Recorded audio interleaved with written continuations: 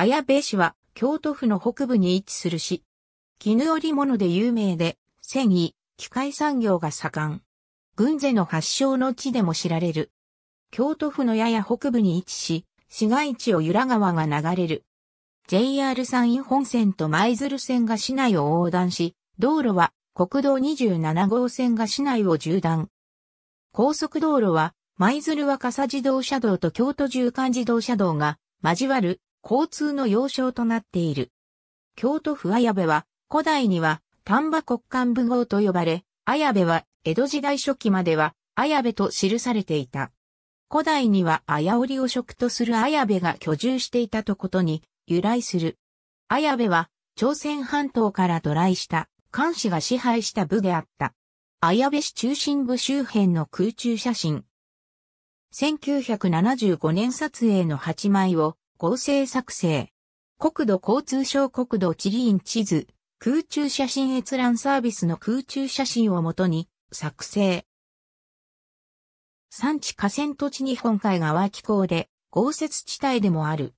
市の東部は山間部であり、人口は市の南西部に集中している。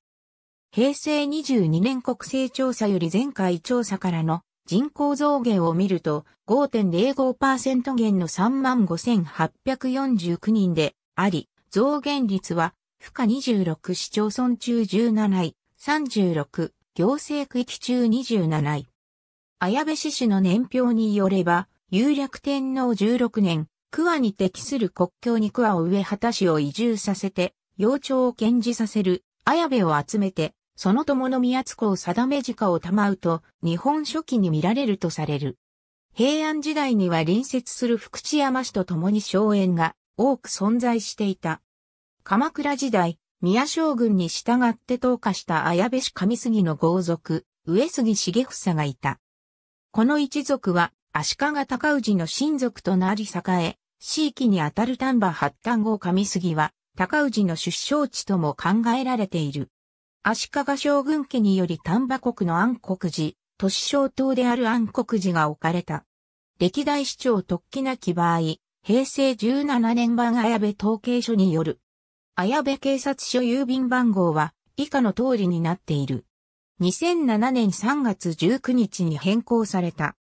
海外国内農業工業高速道路の整備によって京都府綾部工業団地及び綾部市工業団地が完成。